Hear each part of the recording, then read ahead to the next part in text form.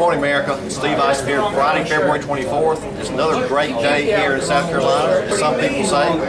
And we're here at Shoney's next to the airport. And this is Cayce Mafia, our nonprofit group. And this week's featured speaker is Dwayne Knockan. You heard me speak about that earlier. But we also have another special guest, and she'll be back with us later. She's running for school board here in Lexington, Lexington District 1. It's Christine Cox. Christine, it's a pleasure having you with us. Thank you, thank you for being here. Christine's going to have a few words to say later on after our a feature speaker. But uh, if you're coming through South Carolina, feel free to come by our breakfast group, 7 a.m. every Friday here in South Carolina. This is a fun place. We have a, some serious issues we talk about. It's all about freedom, individual freedom. And the most discriminating group in this country is not black or white or any of those things. It's the individual. Individual freedom and liberty. That's what this is about. That's what conservatism is all about. So until next week, Steve Isom signing off. Thank you.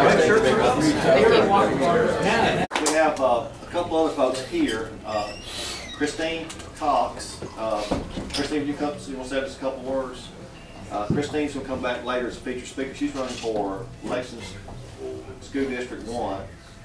And she's not, this is not a, her formal presentation, so just, just a disclaimer. She's going to just say, say a few things. Christine, it's good to have you with us. This is your first time here, isn't it? That's right. Okay, America, uh, and Ron, when you edit your video, try to take me out. I don't want the thing to look too bad. Christine, go ahead. Well, my name is Christine Cox, and I'm running for uh, Lexington One School Board. And I have uh, two issues I'd like to talk about right now, and that is the wasteful spending uh, in our school board. Um, We have about $600 million in debt. Um, And understand a good portion of that is interest, which is not being paid, uh, apparent, obviously.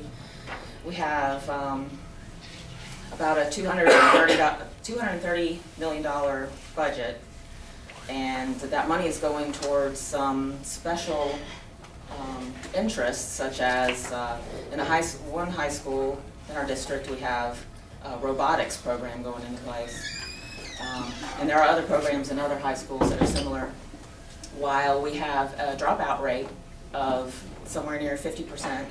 Children are um, either not graduating or graduating with uh, inability to read and not being prepared for college. Um, So I guess I'll wrap it up there. Okay. Those are some two That's main in points. I wanted to- Lexington. Lexington one.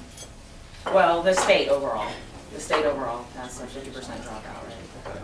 Uh, She's gonna come back later for detailed questions. I know she wasn't really prepared today, but, um, listen, Christine, thanks for coming, and, uh, how'd you like, which song do you want for next week? Uh, My favorite is Hole in the Bottom of the Sea, Oh, actually. really? That's, that's a favorite from Would you childhood, yeah, I like That's that one. kinda complex for most of us. Can't remember all the It's words. Holman Jethro, so very. Thank you, thanks, I hope to see you again here. Thanks. Let's give her a round of applause.